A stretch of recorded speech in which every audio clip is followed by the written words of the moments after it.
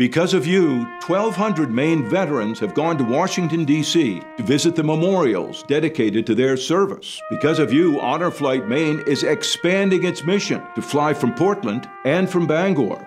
And because of you, Honor Flight Maine is celebrating 10 years. Join News Center Maine Thursday, November 14th from 5 a.m. to 8 p.m. and make that call to give. The Honor Flight Maine Telethon only on News Center Maine.